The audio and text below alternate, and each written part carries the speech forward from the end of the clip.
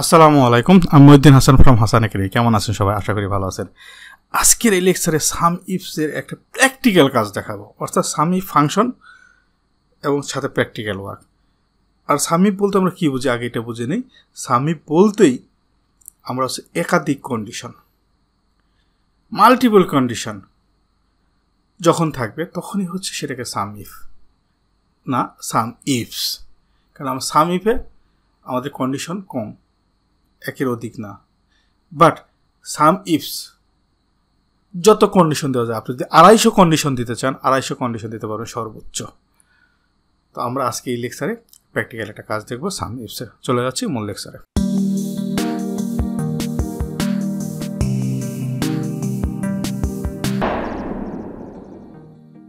শুরুতেই বলতেছিলাম যে আমরা আজকে সাম ইফসের একটা প্র্যাকটিক্যাল কাজ দেবো এবং সাম সাম সাম ইফস বলতে আমরা যে জিনিসটা বুঝি মাল্টিপল কন্ডিশন যখন থাকবে মাল্টিপল কন্ডিশনে যখন যোগ করতে হবে, তখন আমাদের সেটাকে সাম ইফস ফাংশন ইউজ করব। যেমন, আমার এখানে একটা ডাটা বেজ আছে আমাদের, একটা ডাটা বেজ আছে আমাদের।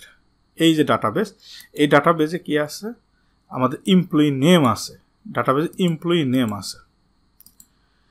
এবং আমাদের এখানে এমপ্লয়ি এমপ্লয়ি ওয়াইজ সেল আছে বাট এই যে এমপ্লয়িটা এই এমপ্লয়ি সেলটা আছে ডে ওয়াইজ একটা র ডাটাবেস মনে করেন আপনাকে কেউ দিল যে এখান থেকে ডে ওয়াইজ আপনার ডাটাগুলো আছে। কারণ এক একটা এমপ্লয়ি এক এক ডে ওয়াইজ সেলস এক এক দিন এক এক জায়গায় আছে। এখন এখান থেকে আপনি কীভাবে এই date wise employee wise total সেলগুলো নিয়ে আসবেন? কীভাবে? একটা মাসের আপনার ওই এমপ্লয়ি যে সেলটা করছে, অর্থাৎ সকালে এক সেল বিকালে এক সেল দুপুরে এক সেল মানে অর্থাৎ বিভিন্ন সময় সে সেল করেছে একটা ডেটের মধ্যে। সেই টোটাল সেলটা সেটা সিরিয়ালি কোনো ইনপুট নাই। অনেক দূরে ইনপুট উপরে আসে ইনপুট নিচে ইনপুট আছে। এই জিনিসগুলোকে আমরা কীভাবে এমপ্লয়ি এমপ্লয়ি ওয়াইজ যেমন এখানে বাম পাশে আছে এমপ্লয়ি নেম আর উপরে আমি দিয়েছি এখানে সেলস আর এখানে আমাদের ডাটাবেস এই ডাটাবেস থেকে আমরা ডে ওয়াইজ এমপ্লয়ি ওয়াইজ সেলসটা নেব।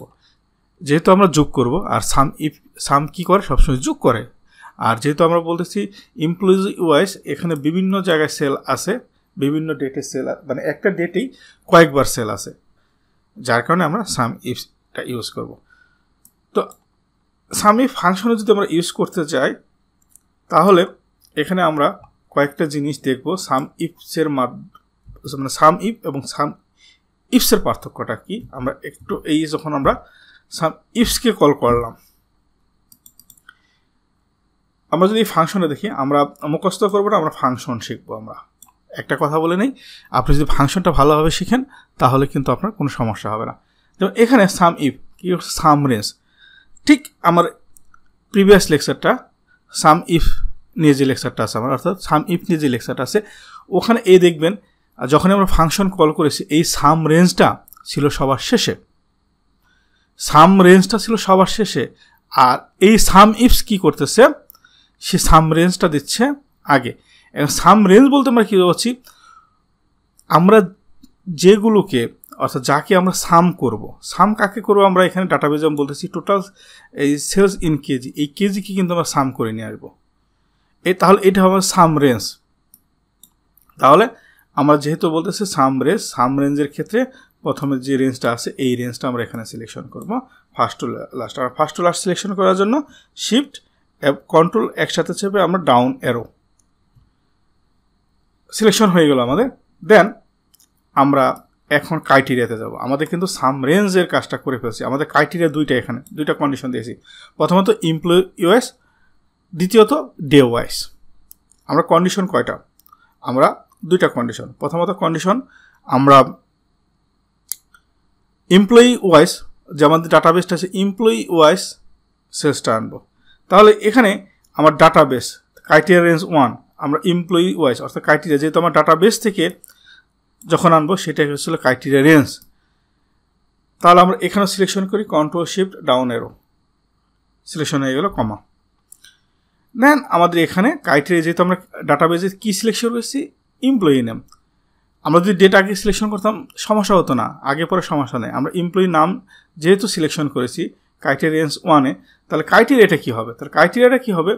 আমাদের এই যে এ কলামে সাত নম্বর রো সাত নম্বর যদি ফর্মুলার কারণে এখানে এটা ঠিকমতো দেখা যাচ্ছে না। আমরা আটে ক্লিক করে আমরা উপরে চলে গেলাম, অর্থাৎ আপ দিয়ে। অর্থাৎ আমাদের এ সেভেন আমাদের এখানে শো করতেছে এ সেভেন এ সেভেনকে আমরা ক্রাইটেরিয়া রেঞ্জের ওয়ানের ক্রাইটেরিয়া ওয়ান সেকেন্ড আমরা, তাহলে আমরা ক্রাইটেরিয়া রেঞ্জ ওয়ান পেয়ে গেছি এবং ক্রাইটেরিয়াটা ওয়ান পেয়ে গেছি আমরা। আমরা আরেকটা কন্ডিশন আছে যে কি বলেছি? ডেট ওয়াইজ আমরা ডাটাটা নেব।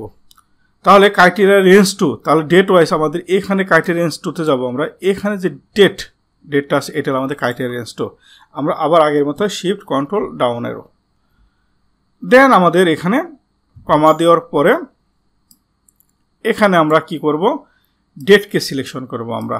এই যে উপরে যে ডেটটা আছে, এই ডেটটাকে সিলেকশন করব। এটা হচ্ছে ক্রাইটেরিয়া রেঞ্জ রেঞ্জের ক্রাইটেরিয়া টু এটা হলো ক্রাইটেরিয়া টু এখন কথা হলো, আমরা ইন্টারভিউ চাপি, তাহলে এই রাহেন নামে যে এমপ্লয়ি আছে, তার এক তারিখে শেষ জিরো এক তারিখে শেষ তার জিরো এখন আমরা এই ফাংশনটাকে এই ফাংশনটাকে অর্থাৎ যে ফর্মুলাটাকে আমরা যে ফর্মুলাটা লিখলাম এখানে, এই ফর্মুলাটাকে আমরা টোটাল টেনে দেব।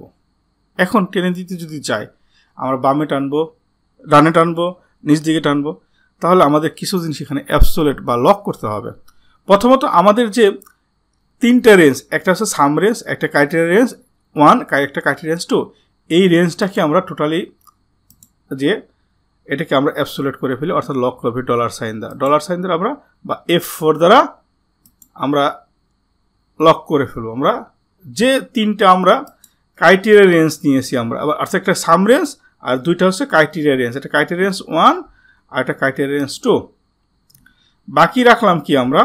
ক্রাইটেরিয়া ওয়ান এ সেভেন এবং ক্রাইটেরিয়া টু বি ফাইভ এই দুইটাকে বাদ রেখেছি আমরা। এখন আমরা এখানে যেহেতু ফর্মুলাটা আমরা ডান দিকে টানবো। ফর্মুলাটা আমরা কোথা দিকে টানবো? ডান দিকে টানবো।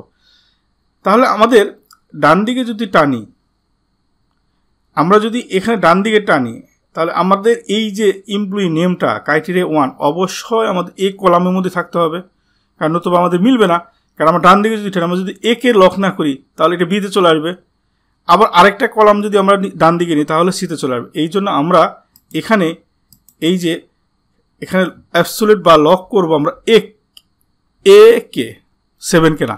কেননা আমরা নিচ দিকেও টানবো কিন্তু। রো আমার সেভেন থেকে এইট আসবে এইট থেকে নাইন আসবে নাইন থেকে টেনে যাবে। তাহলে আমরা এখানে এ কে করলাম। আমরা এখানে, অর্থাৎ বি ফাইভ বি ফাইভটা এই ডেটটা এই যে ডেটটা এই ডেটটার এখানে আমরা যেহেতু আমরা এই রোটা আমরা নিচ দিকে টানবো, তাহলে এই যে ফাইভ ফাইভ নম্বর যে রোটা আমরা যখন নিচ দিকে ফর্মুলাটা টানবো, তাহলে আমরা যদি এটাকে এই রোকে যদি লক না করি, তাহলে এই ফাইভ নম্বর রো থেকে সিক্সে চলে আসবে সিক্স থেকে সেভেন আমরা যত নিচ দিকে যাব নিচ দিকে চলে আসবে। তাহলে, এবং কি আমরা এখানে যেহেতু ডান দিকেও যাব আবার তাহলে আমার এই বি কলাম থেকে আমাকে সি কলামে যেতে হবে ডি কলামে যেতে হবে। অর্থাৎ আমাদের তাহলে এই কলামকে সেরে দিতে হবে এবং রোকে আমাদের অ্যাপসোলেট করতে হবে, অর্থাৎ লক করতে হবে। তাহলে আমরা অনলি লোক রোকে আমরা লক করে ফেললাম। দেন এখানে ইন্টারপ্রেস করলাম। ইন্টারপ্রেস করার এখন যদি আমরা ফর্মুলাটা একবার টেনে দিই, এক জায়গায় লিখেছি আমরা, সম্পূর্ণ যদি ফর্মুলাটা টেনে দিই তাহলে আমাদের প্রত্যেকটা এমপ্লয়ি ওয়াইজ অল্প সময়ের মধ্যে আমরা করে ফেললাম। যে কাজটা আমাদের আপনি সারাদিন লাগতো, সেটা আপনি কয়েক মিনিটের মধ্যে আমরা মুহূর্তেই করে ফেললেন। শুধু একটা সাম ইফস ফাংশনের মাধ্যমে। এখানে আবার উল্লেখ করে যাই, গত লেকচারে আমি সাম ইফে বলেছিলাম, বা কাউন্ট ইফসে বলেছিলাম। কাউন্ট ইফস ফর্মুলা এবং সাম ইফস ফর্মুলা প্রায় সেম কারণ কাউন্ট ইফস সে কী করতেছে? আপনার কাউন্ট করতেছে আর সাম ইফস কী করতেছে? সাম করতেছে। দুইটা জিনিসের ক্ষেত্রে আবারও একটু স্মরণ করে দিতে যাচ্ছি যে এই যে রেঞ্জগুলো আমি এখানে যে তিনটা রেঞ্জ দিয়েছি ক্রাইটেরিয়া রেঞ্জ একটা সাম রেঞ্জ, একটা ক্রাইটেরিয়া রেঞ্জ ওয়ান, একটা ক্রাইটেরিয়া রেঞ্জ টু, এই প্রত্যেকটা রেঞ্জ যেন সেম হয়। অর্থাৎ এখানে ইউ ফাইভ থেকে, অর্থাৎ এই যে ফাইভ নম্বর রো থেকে তিনশো পাঁচচল্লিশ নম্বর রো, এখানেও ফাইভ নম্বর রো থেকে তিনশো পাঁচচল্লিশ নম্বর রো, এখানেও ফাইভ নম্বর রো থেকে তিনশো পাঁচচল্লিশ নম্বর রো। যদি কোনো রো মিসম্যাচ হয়, তাহলে আপনার ডাটাটা দিবে না ভ্যালুটা দিবে না। তখন ইরোর দেখাবে। আশা করি লেকচারটা বুঝতে পেরেছেন। যদি লেকচারটি ভালো লেগে থাকে, অবশ্যই লাইক এবং কমেন্টস দেবেন। এবং যারা সাবস্ক্রাইব করেনি তারা সাবস্ক্রাইব করবেন। ভালো থাকবেন সবাই। আসসালামু আলাইকুম।